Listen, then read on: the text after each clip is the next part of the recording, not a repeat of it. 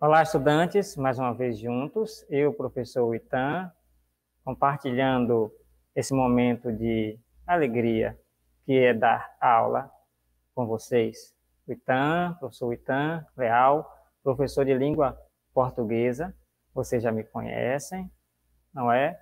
E hoje a nossa aula vai falar da importância da leitura em tempos de afastamento social, ou seja, em tempo de pandemia, ou em qualquer outro tempo. Não é? A leitura é sempre importante em qualquer época. Então, para início de conversa é, sobre leitura, eu quero chamar aqui a presença do patrono da nossa educação, Paulo Freire, ele tem uma frase, é, vamos dizer assim, contundente a respeito da leitura, que é a leitura de mundo precede a leitura da palavra. O que é que você imagina quando ouve essa frase ou quando a lê? A leitura de mundo precede a leitura da palavra. Por que que isso acontece? que é que vocês acham? Vamos tentar fazer uma pequena análise a respeito dessa frase. Presta bem atenção. A história do mundo, de alguma forma, ela se confunde com a nossa história, a história social que vivemos hoje. Então, o que é que aconteceu? É, em termos de conhecimento de mundo e de leitura no conhecimento, ou melhor, na história, de uma forma geral, na história desde o início da humanidade, o que é que acontece? Primeiro, nós temos o ambiente, que é a Terra. A Terra tem em torno de 4,5 bilhões de anos. Então, veja que a Terra surgiu. Desses 4,5 bilhões de anos, o homem moderno, ou seja, o homem com a aparência que nós temos hoje, ele surgiu sobre a face da Terra há mais ou menos 200 mil anos. Olha que diferença, de 4,5 bilhões para 200 mil anos. E a escrita, ela tem em torno de 3.300 anos. Vejam que aparece o ambiente, o homem se envolve com o ambiente, que é a Terra, e depois ele desenvolve a técnica da escrita. Então, para nós que já nascemos hoje, a escrita já existia, né? Se a escrita já existia, a leitura também. Mas o que é que acontece com relação ao que vivemos hoje, à nossa sociedade, ao mundo atual? Comparando com o que foi falado sobre a história né, da humanidade, Terra aqui com 4,5 bilhões, que é o ambiente que está aparece antes de nós, aparece antes do homem. O mesmo acontece com a sociedade e a sua cultura. A sociedade já está aí, não é? O ambiente já está formado. Então, nós, depois que nascemos, entramos na sociedade, somos incluídos na sociedade e passamos a conviver com ela, da mesma forma que esse homem conviveu com o mundo há 200 mil anos atrás. Ou seja, ele começou a observar o mundo e fazer a leitura da natureza. Ele observava começou a observar o céu e perceber quando era que chovia. Ele passou a olhar os animais e perceber que os animais nasciam, cresciam e morriam. Tinham filhos, procriavam, não é, amamentavam. Então ele estava fazendo a devida leitura do mundo, do ambiente em que ele vivia. Na sociedade atual, nós também fazemos essa leitura de mundo. Quando você entra na sociedade, a porta de entrada para, para a sociedade que você tem é a sua casa, a sua família.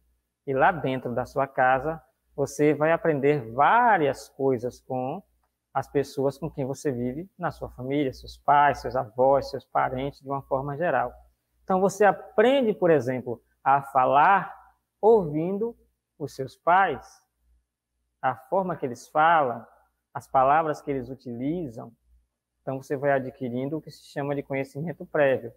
Mas não é só da leitura da palavra que você faz. No momento em que sua mãe reclama, você, a primeira vez, você estranha. Mas depois você passa a entender qual o motivo da reclamação. Então, simplesmente, num olhar da sua mãe ou do seu pai, você percebe que ele está te reclamando, te advertindo, não é? Aí você já está adquirindo conhecimento de mundo. Quando você é criancinha, pequenininha, você está dentro de casa, aí você percebe alguém da sua casa utilizar o interruptor para acender a luz. Você observa e o que é que você vai fazer? Você repete. Você está fazendo também uma leitura de mundo. Você vai lá, aprendeu observando e depois você repetiu o que foi feito pelos maiores e aprendeu ali a ligar a luz apertando um botãozinho mágico, não é aquele que vai acender a luz. Pronto, nós temos o conhecimento de mundo dentro de nossa casa, não é? E em seguida a gente vai ter um conhecimento escolar. O conhecimento da palavra que nós vamos aprender na escola, da palavra escrita. Você aprende a palavra falada e na escola você vai, vai aprender a palavra escrita e a partir daí você entra no mundo da leitura. Foi o que aconteceu também com o homem pré-histórico. O homem ele foi introduzido no meio ambiente, que é o seu mundo, ele passou a ler o mundo e depois ele inventou a escrita e a partir da escrita houve uma grande revolução no comportamento humano. Uma grande revolução em tudo que o homem fez. A leitura trouxe para o homem uma modificação de comportamento, uma modificação de vida imensa. Então, a escola pode ser esse caminho. Não é? Quando você aprende a ler, a leitura é algo de importância fundamental é, para a humanidade de uma forma geral. A leitura nos emancipa. Então, só revisando, a leitura de mundo, que é aquela que você aprendeu no seu convívio em casa, na comunidade em que você vive, não é? Na cidade, no país. Esse conhecimento é o conhecimento prévio que você tem de mundo, que você lê através do seu olhar, mas depois você vai comparar o que você tem dentro de si, que você adquiriu através dessa leitura de mundo, do seu olhar pelo mundo, você vai transferir e associar com o que você vai aprender na escola, o contexto do contexto, ou seja, do ambiente, do contexto em que você vive para o texto. Então você vai associar as coisas para ler. A leitura de mundo precede a leitura da escrita. Então, o que é que acontece é, com a leitura? A gente sai de uma cultura oral, que é passada de pai para filho através da, da fala, de contar histórias, não é? De passar de de pai para filho oralmente, falando, isso é, falando as experiências de vida, para uma cultura escrita, que você vai, de uma certa forma, misturar as duas coisas. Você vai é, levar o que você aprendeu na cultura oral para é, correlacionar, para juntar com a cultura escrita e assim você ter mais conhecimento. E o grande, não é? A grande vantagem da cultura escrita é a seguinte: a leitura oral ela se perde no tempo. Ela pode ser esquecida. Com o aparecimento da escrita, você passou a registrar o que você fala e o que você pensa no papel, que é um material que, de, certa, de alguma certa forma, resiste ao tempo e você pode voltar a ele para reler e rever o que você já aprendeu e pode deixar para as gerações seguintes, para os seus filhos, para a humanidade futura. Então, a escrita, ela hoje é algo fundamental, como eu já disse. de grande importância: a escrita e, consequentemente, a leitura da escrita. Bom, a escrita ela começou de forma pictórica, ou seja, em forma de desenho. Então, a escrita e a leitura era feita a partir de desenhos, como é o caso dos, da escrita dos, dos egípcios, os hieróglifos ou hieroglifos. Então, olha a imagem. Uma outra modalidade de escrita é a escrita ideográfica, que, diferente do nosso alfabeto, né, cada símbolo desse não representa uma letra, mas pode representar uma palavra ou até uma frase inteira, ou seja, representar uma ideia, por isso, ideográfica. E ela é escrita de cima para baixo e lida, escrita e lida de cima para baixo, ou seja, na vertical. E a outra forma de escrita, que é a que mais utilizamos, é a escrita alfabética, ou a escrita fonética, sonora. Cada letra representa um sonzinho da nossa fala, não é?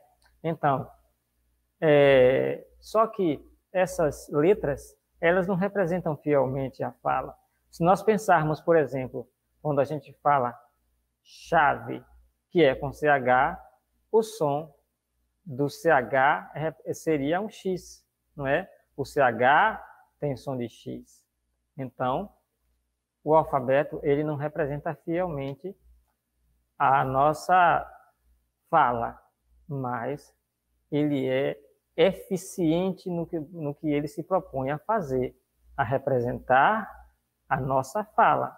Então, quando você vê essa imagem, você lembra ou você pode emitir o som A, ou quando você fala, é, você reproduz o som A, você lembra dessa imagem. Esse daqui é o alfabeto maiúsculo, mas também tem o alfabeto minúsculo. Ou seja, a nossa escrita, ela representa os sons da nossa voz, os segmentos de som da nossa voz, combinando esse, cada, cada segmento de som, que é uma letrinha dessa, é que nós formamos as palavras, que é diferente do que nós vimos anteriormente, que é a escrita ideográfica. Que, como eu falei, cada símbolo pode representar uma palavra ou um som, ou melhor, pode representar uma palavra ou uma frase até. A nossa não. Vamos juntar as letrinhas, os sonzinhos, para formar as palavras. Mas o grande boom, o grande momento da evolução, da expansão da escrita e da leitura, ou melhor, da leitura, foi a invenção da imprensa por Johann Gutenberg. Ele inventou a primeira impressora do mundo, que foi a prensa, que é uma máquina que funciona como se fosse um grande carimbo.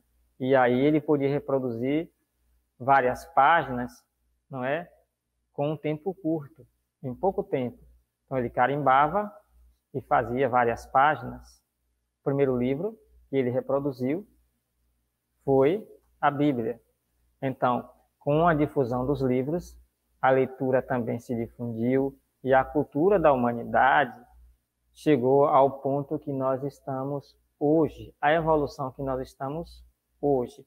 Guardar conhecimento através da escrita para posteriormente se fazer a leitura do que foi é, produzido e, em cima do conhecimento, se reproduzir mais conhecimento.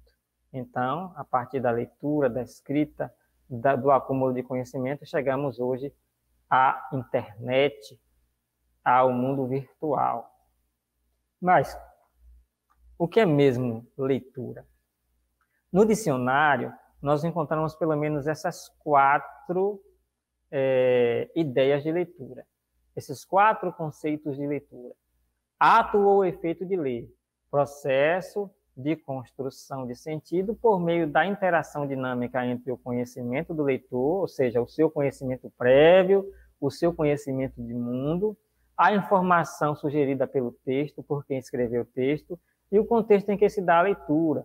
Contexto é a circunstância que faz é, o autor escrever aquele texto. Três, processo cognitivo. Quando eu falo cognitivo, eu estou falando de raciocínio. Você botar o seu cérebro para funcionar, para interpretar, para entender. Processo cognitivo de compreender uma mensagem escrita ou material escrito que se destina a ser lido. Então, no mínimo, é, você pode encontrar no dicionário esses quatro conceitos de leitura. Mas a leitura não é simplesmente a leitura do papel, a leitura da palavra escrita. No mundo em que vivemos hoje, informatizado, depois da chegada da internet, a leitura, ela, tanto a leitura quanto a escrita, ou seja, se a escrita muda, a leitura também muda a sua forma. Com o advento da internet, hoje nós temos várias formas de escrita e de leitura. Observe aí, a escrita continua evoluindo. Consequentemente, a leitura também. Olha os emojis que nós utilizamos na, na comunicação através das redes sociais, e principalmente do WhatsApp, não é? Olha aí, cada imagem dessa representa um sentimento que você utiliza na hora que você está se comunicando através é, do WhatsApp, das redes sociais. Olha esse outro, o meme. Conte-me mais sobre, sobre isso. Veja que você, além de fazer a leitura da palavra, você vai ter que interpretar a imagem que está por trás das palavras. Então, olha, conte-me mais sobre isso. Então, observe a imagem, a expressão do homem que está na figura. Ele está interessado em saber o que é que está sendo, não é que a pessoa está contando, se interessou e pede mais, né, para que a pessoa conte mais, fale mais, né, é, quer saber de fofocas, não é? E essa outra imagem de Homer Simpson, um personagem bem conhecido, olha aí, ele se escondendo. Essa imagem simplesmente pode dizer que de repente você pagou um mico e ficou com vergonha, ou então, essa imagem pode dizer que você está se tocando para observar tudo, se escondendo, se ocultando para observar o que se passa. Então, a escrita e a leitura hoje é muito mais dinâmica, porque ela não é, se restringe simplesmente à leitura da palavra. Há algo mais para se fazer o sentido. E para se fazer a leitura, pelo menos da leitura escrita, você tem que trazer pelo menos três conhecimentos prévios. Conhecimento prévio é, como já disse, do prévio vem antes, você já traz consigo. É o conhecimento linguístico, ou seja, o conhecimento da língua. Você sabe a língua portuguesa, não é? Você sabe colocar direitinho a palavra, as palavras em cada, é, em seu devido lugar quando você está é, conversando com alguém. Você sabe a língua portuguesa, você sabe intuitivamente as regras da língua portuguesa, mesmo que você não tenha é, um conhecimento gramatical muito profundo, mas você sabe intuitivamente utilizar a sua língua. Então você já tem um conhecimento prévio, que é a língua. O outro conhecimento prévio é o conhecimento textual. Você sabe que é um texto, você sabe que para se produzir texto tem palavras, palavras, parágrafos, lembrar da pontuação, da acentuação. Então, conhecimento textual. E aquele conhecimento que eu já falei anteriormente, que é o conhecimento de mundo, é o conhecimento que você tem do meio em que você vive, do mundo.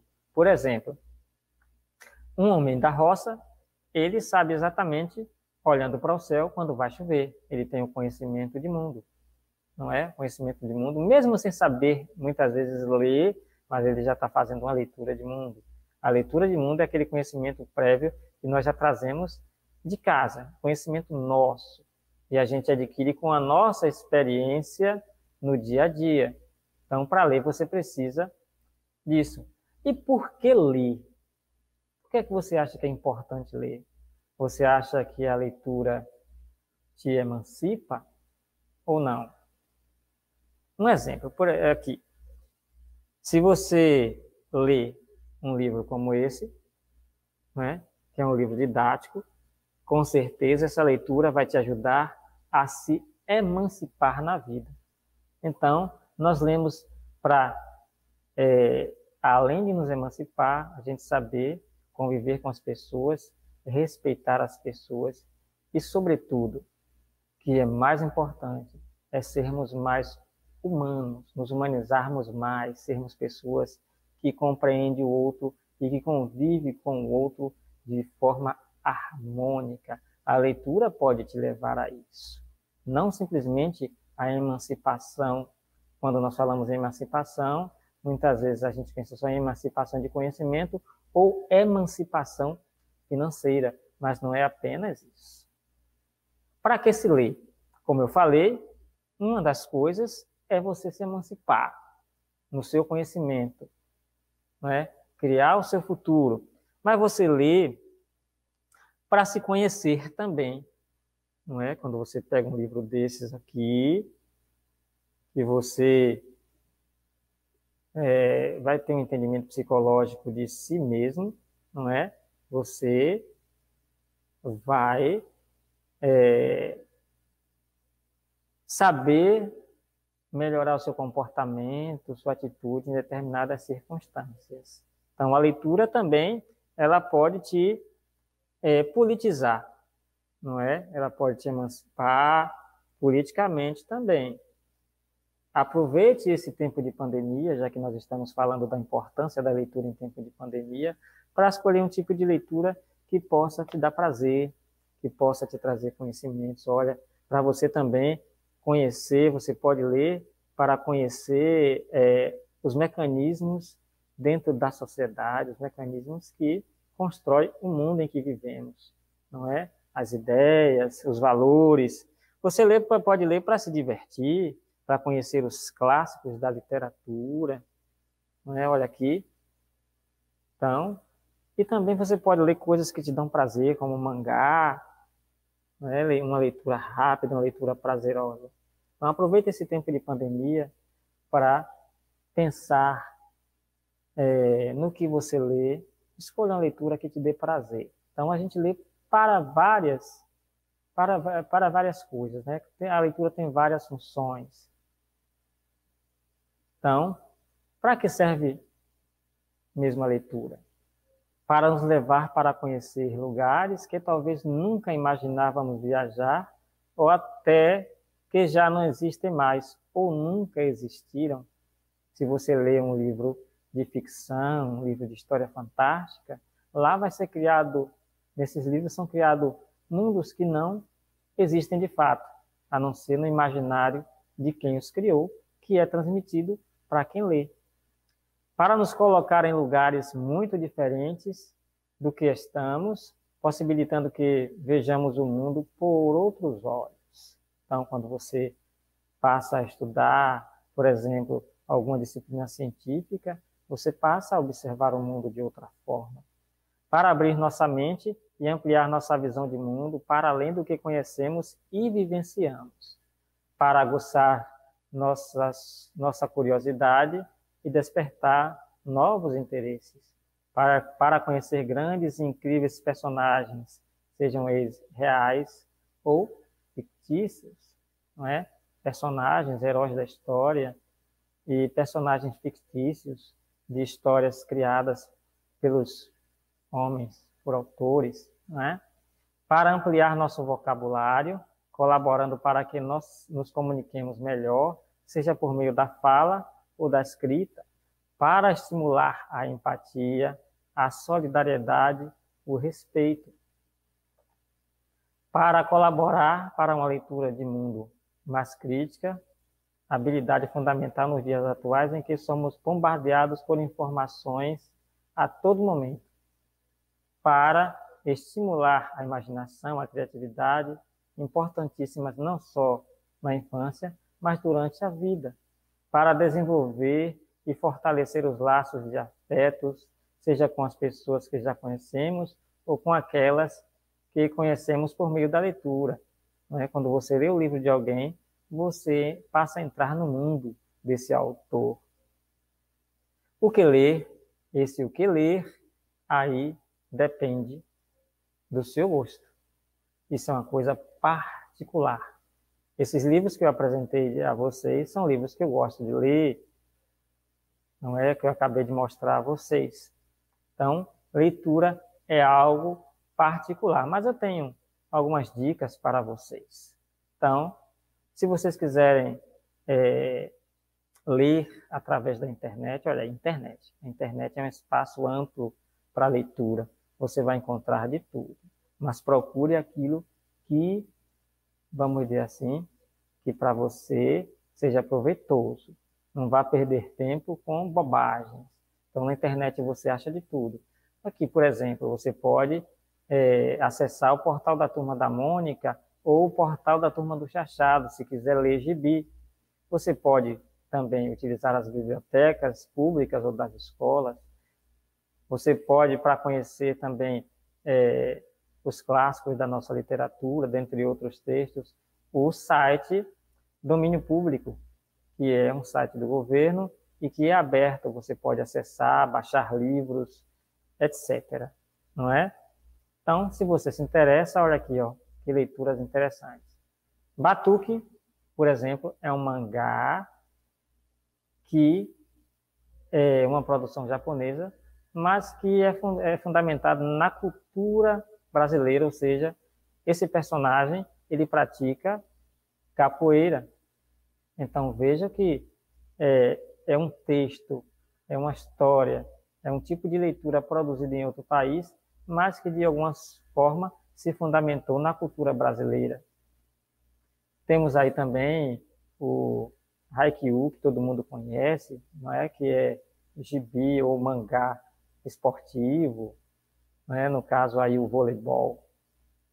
Então, para terminar, eu quero também indicar três filmes não é, que nos mostram a importância da leitura em qualquer tempo. O que a leitura pode fazer com o indivíduo a partir do momento que ele leva a sério a leitura, ele toma a leitura realmente para a sua vida. O primeiro filme é esse, Mãos Talentosas, a história de Ben Carson, um rapaz que na sua adolescência era o pior aluno da classe, mas depois que ele passou a se interessar pela leitura, ele se tornou, e ainda é vivo, ele se tornou um dos maiores cirurgiões né, é, em cirurgias cerebrais do mundo.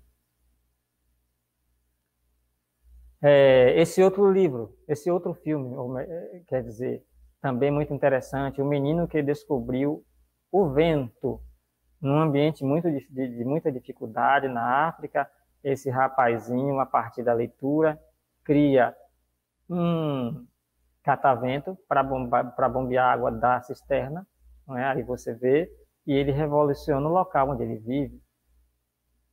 E esse que é um filme brasileiro, Opostos, não é? É a história desse senhor que ele chega a ser é, morar na rua, passar necessidade junto com um amigo e é, hoje ele é professor numa das universidades mais importantes do país, que é a Unicamp.